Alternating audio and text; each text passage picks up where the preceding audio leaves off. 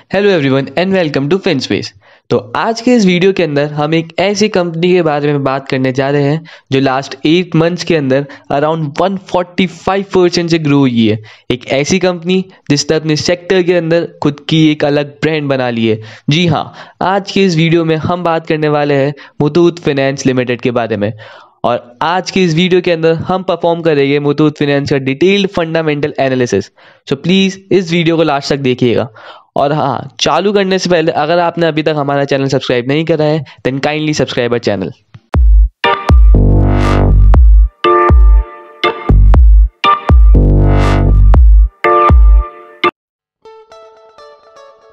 Muthoot Finance Limited is an Indian financial corporation and it is the largest gold loan NBFC in the country.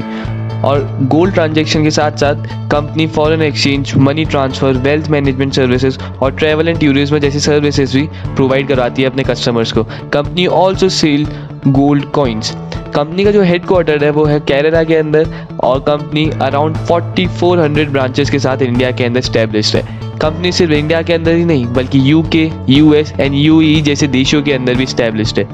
जैसा कि अपन सबको पता है Muthoot finance जानी जाती है सबसे ज़्यादा उसके गोल्ड लोन के लिए। इनफैक्ट मुथूत फाइनेंस का जो गोल्ड लोन का पोर्टफोलियो है, वो ना सिर्फ़ केवल इंडिया में, बल्कि अक्रॉस द ग्लोब सबसे ज़्यादा लार्जेस्ट पोर्टफोलियो है। On an average two lakh people avail the services of Muthoot finance on daily basis India के अंदर कंपनी की 60 परसेंट ब्रांचेस साउथ में है 17 percent north 16 percent west and 7 percent in the east बात करें अगर अपन गोल्ड लोन की डिमांड की इंडिया के अंदर so one thing we all know कि इंडिया की ऑलमोस्ट हर फैमिली के अंदर गोल्ड इन्वेस्टमेंट को कुछ ज़्यादा ही वैल्यू दी जाती है।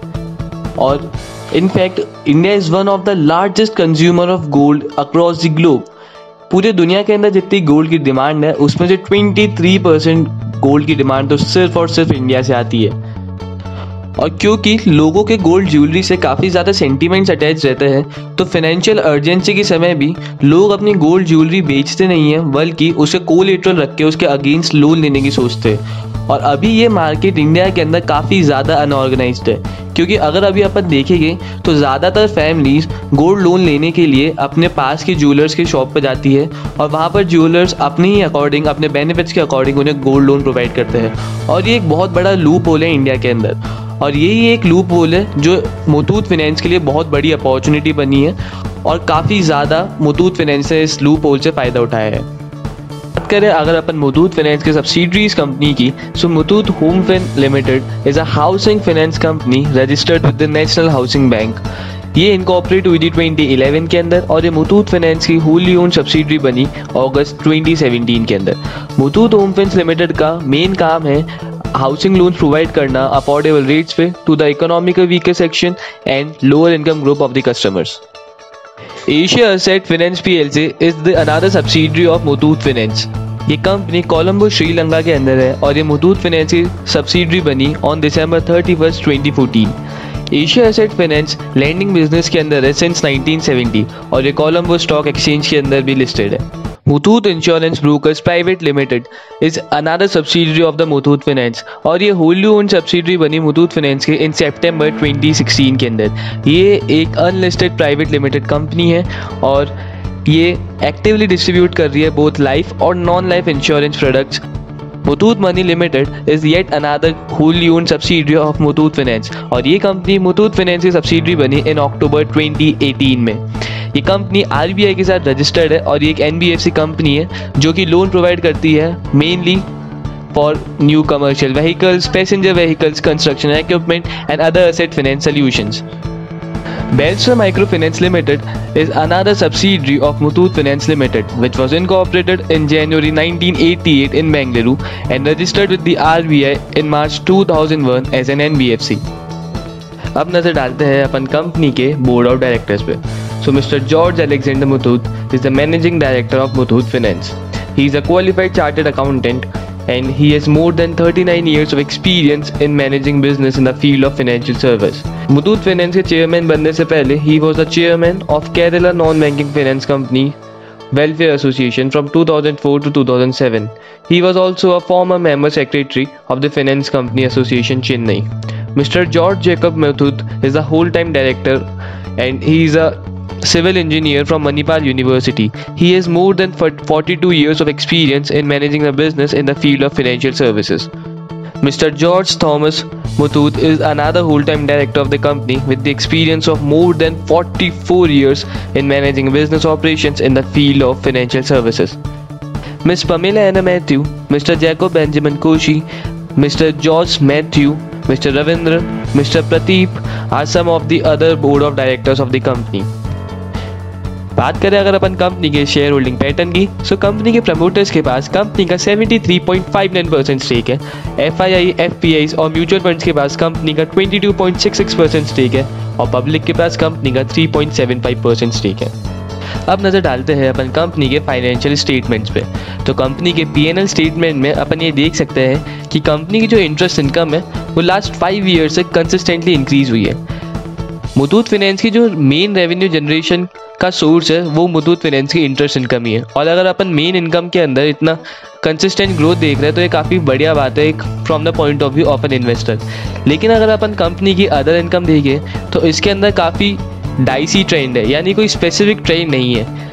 जो कि एक थ्रेट हो सकता है कंपनी के लिए। कंपनी का एबिट और कंपनी का नेट प्रॉफिट भी लास्ट फाइव ईयर से कंसिस्टेंटली इंक्रीज हुआ है which is again a very good point from the point of view of an investor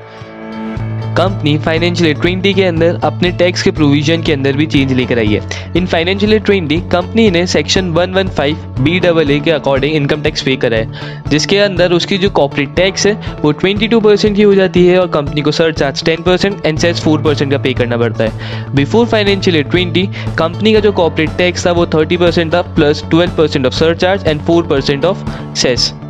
और इस नए प्रोविज़न के अडॉप्शन के कारण आप टैक्स के एक्सपेंस में कंपनी के थोड़ा डिक्रीज भी देख सकते हैं in financial year twenty as compare to F Y nineteen अगर अपन देखें कंपनी की बैलेंस शीट को तो उसके अंदर अपन देख सकते हैं कि जो कंपनी का रिज़र्व एंड सरप्लस है, वो लास्ट फाइव ईयर से कंसिस्टेंटली इंक्रीज हुआ है। तो इसके पीछे जो मेन रीज़न है, वो है कंपनी का increasing net profit so basically सारी कंपनीज़ अपने नेट प्रॉफिट को रिज़र्व एंड सरप्लस अकाउंट के अंदर ट्रांसफ़र कर देती है। और उसी के कारण अपन देख सकते हैं कि क्योंकि इस कंपनी का net profit last five year से इंक्रीज हो रहा है, उसके कारण कंपनी का रिज़र्व एंड सरप्लस के अंदर भी अपन ये इंक्रीज देख सकते हैं। कंपनी का फाइनेंशियल ईयर ट्वेंटी के अंदर जो प्रोविज़न है, उसके अंदर भी इंक्रीज आया है as compare to financial year nineteen financial year nineteen the provision was of two thousand one hundred and sixty five point three three C R और फाइनेंशियल ईयर ट्वेंटी के अंदर वो प्रोविज़न बढ़ के हो चुका है three thousand seven hundred and twelve point three three C R so basically इसके पीछे एक मेजर रीज़न ये हो सकता है कि कंपनी इस साल अपने लोन्स के अंदर ज़्यादा डिफ़ॉल्ट एक्सपेक्ट कर रही हो as compare to financial year nineteen company अपने बोरोइंग्स भी इंक्रीज कर रही है और उसी का इम्पैक्ट अपन कंपनी के फाइनेंसिंग कैश फ्लो के अंदर देख सकते हैं कंपनी की कैश फ्लो स्टेटमेंट के अंदर। कंपनी के रीसेंट रिजल्ट्स के अंदर भी कंपनी की इंटरेस्ट इनकम एंड कंपनी की नेट प्रॉफिट इनकम इंक्रीज हुई है with 8.33 percent and 8.52 percent respectively on quarter over quarter basis which is again a very good point from the point of view of an investor also जो company का total expenditure है, वो 14 percent से increase हुआ है which is higher than the increase in interest income on the quarter over quarter basis बात करें अगर अपन कंपनी की रेशियोज़ की तो इसके अंदर अपन देख सकते हैं कि कंपनी का R O C E R O E and R O A ये तीनों रेशियोज़ पिछले कुछ सालों से एक पॉजिटिव ट्रेंड शो कर रहे हैं, जो कि काफ़ी पॉजिटिव पॉइंट है from the point of view of an investor क्योंकि कंपनी अपनी कैपिटल एम्प्लॉयड अपनी इक्विटी और अपने टोटल असेट्स पर तीनों पर एक अच्छा रिटर्न कमा के दे रही है अपने इन्वेस्टर्स को। कंपनी के जो नॉन परफॉर्मिंग लोन्स हैं, वो भी कंसिस्टेंटली डिक्लाइन होते जा रहे हैं which is again a good point and also company का जो मार्जिन ऑफ़ सेफ्टी और लोन्स है, वो भी पिछले कुछ टाइम से इंक्रीज होते जा रहा है। बात करें अगर अपन मुथूत फाइनेंस के पीयर कंपैरिजन की तो इसके अंदर अपन देख सकते हैं कि Muthoot Finance market runner up है according to its market cap of 50,401 CR and the market leader of this industry is Bajaj Finance with a market cap of 2,27,090 CR.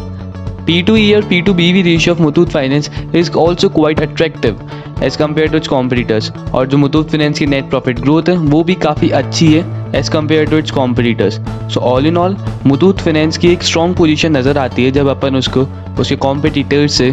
Compare करते हैं अब नज़र डालते हैं अपन मुथूत फाइनेंस के स्वॉट एनालिसिस पे And here we go. So the biggest strength of the Muthoot Finance is its diversified revenue model. जिसका मतलब है कि मुथूट फाइनेंस सिर्फ़ एक ही प्रोडक्ट या एक ही सर्विस पर अपना बिज़नेस नहीं चला रहा है उसने अपने बिज़नेस ऑपरेशंस को और अपने रेवेन्यू कमाने के मॉडल को बहुत डाइवर्सिफाई कर रखा है for example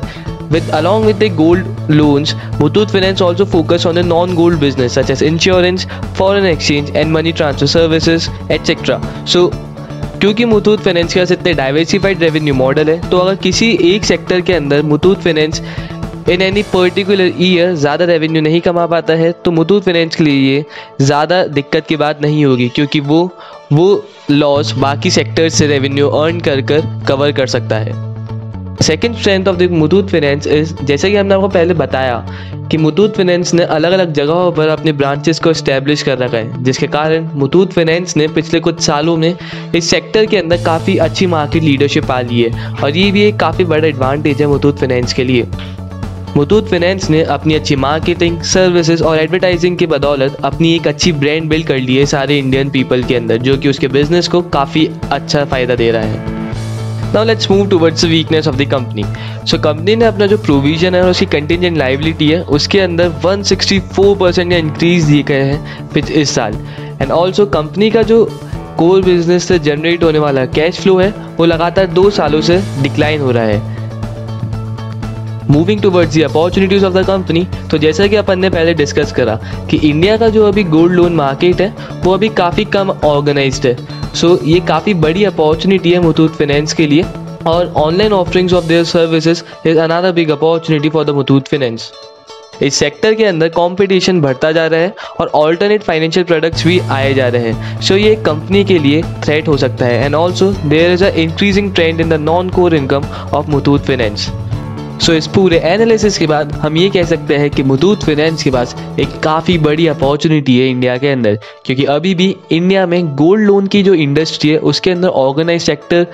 का काफ़ी कम पेनिट्रेशन है। और ये ही बहुत बड़ी अपॉर्चुनिटी बनी है मुथूट फाइनेंस के लिए। ऑल्सो मुथूट फाइनेंस ने अपनी जो ब्रांड वैल्यू क्रिएट करी है पिछले कुछ सालों में, इसका काफ़ी ज़्यादा एडवांटेज मिल सकता है मुथूट फाइनेंस को। But still there are some risk and uncertainties for the company which need to be considered before investing in this company that's all from our side thank you for watching the video अगर आपको ये video पसंद आई then please press the like button subscribe our channel and share it with your friends thank you